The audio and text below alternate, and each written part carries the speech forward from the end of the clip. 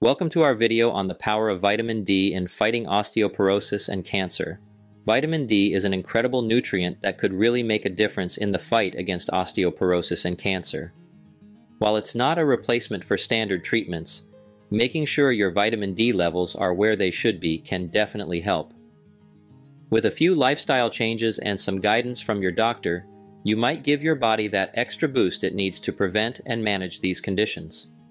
Keeping your vitamin D levels in check could be a powerful tool for maintaining strong bones and lowering your cancer risk. In this video, we're going to dive into the amazing science behind how vitamin D supports bone health and might help prevent cancer.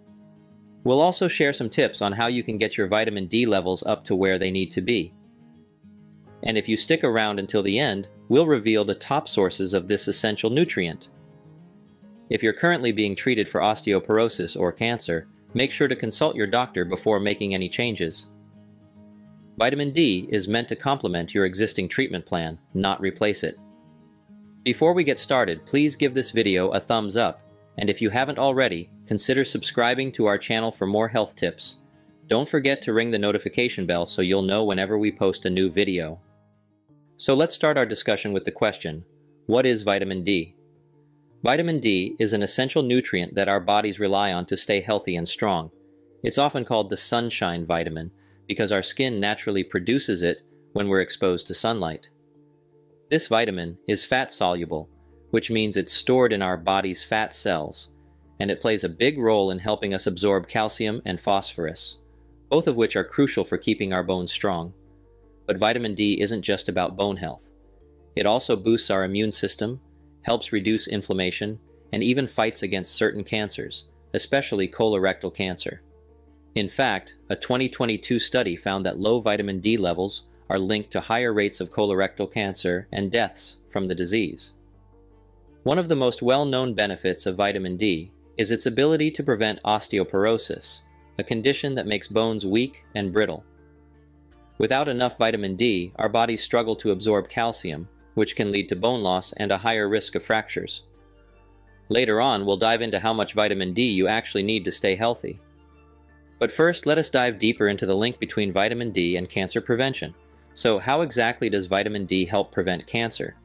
It turns out that vitamin D receptors are found in all sorts of tissues throughout the body, not just in our bones. This suggests that vitamin D plays a much bigger role in our overall health than we might have thought. Some studies have shown that higher levels of vitamin D are linked to a lower risk of certain cancers, particularly colorectal, breast, and prostate cancers. For example, a 2011 meta-analysis published in the Journal of Cancer found that people with higher vitamin D levels had a lower risk of developing colorectal cancer, about 15% lower to be exact. Another study, the Phase 2 Sunshine trial published in JAMA in 2019, looked at patients with metastatic colorectal cancer. It found that those who received high-dose vitamin D3, along with standard chemotherapy, had better progression-free survival compared to those who received a standard dose of vitamin D3. Dr. Joanne Manson of Harvard explains that vitamin D may help make tumor cells less aggressive and less likely to spread. Animal studies even suggest that vitamin D supplements can positively change the behavior of cancer cells. While it's still too early to recommend high-dose vitamin D specifically for cancer prevention, the research so far is promising. Now that we have that covered, let's take a look at the connection between vitamin D and bone health. As we mentioned, vitamin D is often called the sunshine vitamin because our bodies can produce it when our skin is exposed to sunlight. But there's more to it than just being a vitamin. It's actually a prohormone.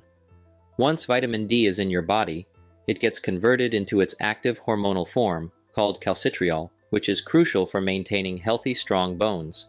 A 2021 review in the journal Nutrients highlighted the importance of both calcium and vitamin D for bone health.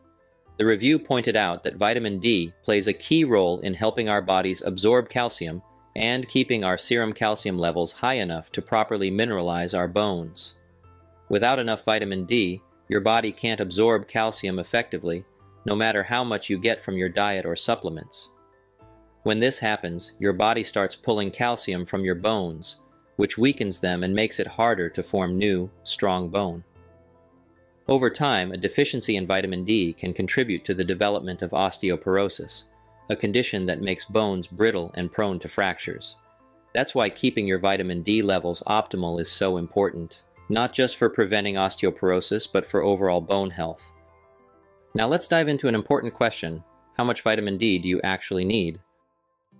According to the NIH, most adults should aim for about 600 IU of vitamin D each day.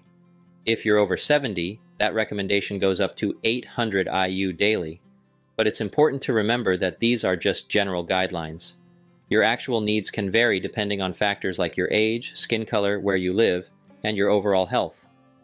Some experts even think that these recommended levels might be a bit too low. Dr. Joanne Manson from Harvard who led the groundbreaking vitamin D and omega 3 trial, VITAL, recommends aiming for 1,000 to 2,000 IU of vitamin D daily for optimal health. This is particularly important if you're at a higher risk for vitamin D deficiency. So, how do you actually get enough vitamin D? To answer this question, let's first talk about the different sources of vitamin D. Most people get their vitamin D from sun exposure. When UVB rays from the sun hit your skin, they kickstart a process that helps your body produce vitamin D. But there are a few factors that can affect how much vitamin D you actually make from sunlight. For example, if you live far from the equator, you might not get enough UVB exposure during the winter months to produce sufficient vitamin D. Your skin color also matters. People with darker skin need more sun to make the same amount of vitamin D as those with lighter skin. And if you're diligent about using sunscreen, you might be blocking some of the UVB rays that help produce vitamin D. But don't worry, according to the Skin Cancer Foundation, daily sunscreen use won't completely block your vitamin D production because no sunscreen blocks 100% of UVB rays. So, keep up the sunscreen to protect your skin from cancer, but also consider a little bit of unprotected sun exposure to boost your vitamin D. Just be mindful of the risk of sunburn. Now, if you're not getting enough sun, don't stress. There are other ways to get your vitamin D.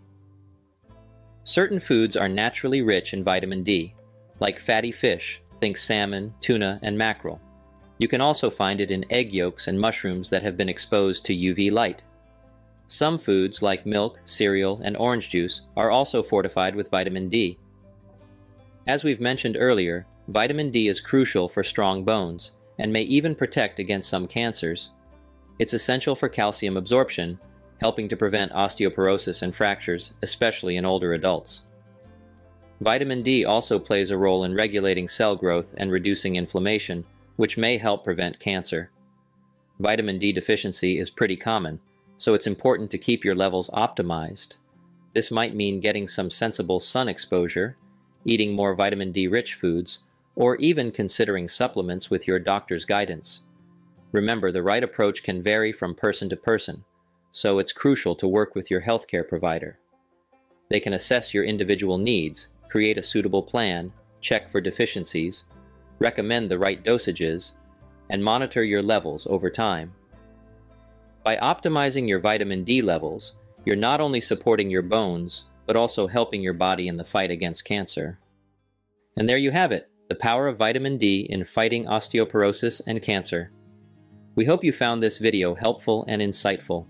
If you enjoyed this video, please don't forget to give it a thumbs up, share it with friends, and subscribe to our channel. Your support helps us continue creating valuable content and raising awareness about important health topics like the role of vitamin D.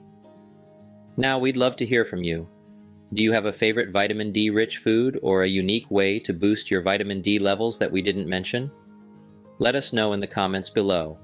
Your tips and suggestions are highly valued and can be a great source of additional knowledge for our community. Remember, optimizing your vitamin D levels can be easier than you think, but it's just one piece of the puzzle. A balanced diet, regular exercise, stress management, and routine checkups with your doctor are all important in preventing osteoporosis and reducing cancer risk. Thanks for watching, and we'll see you in the next video.